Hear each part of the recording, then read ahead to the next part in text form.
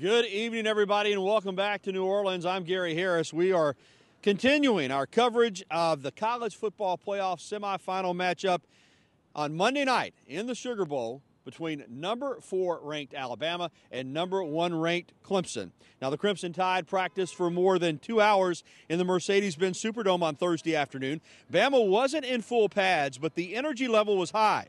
Of course, on the defensive side of the ball, there is still disappointment over the loss of linebackers Shaun Dion Hamilton, the, the senior, and freshman Dylan Moses, but enthusiasm over the return of backers Christian Miller, number 47, the junior, Terrell Lewis, number 24, the sophomore, and Mack Wilson, number 30, also a sophomore. Meanwhile, on offense, Jalen Hurts may need to play his best game at quarterback that he's played since he's been at Alabama.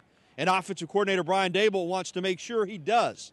Both met with reporters on Thursday morning at media headquarters inside the Marriott Convention Center Hotel.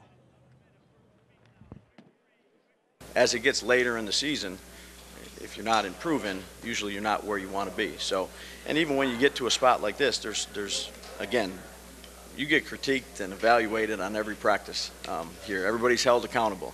Um, everybody's held accountable. So, you know, we have uh, we have a bunch of guys that, that try to continually improve on a day-to-day basis, and uh, that's what we need to do.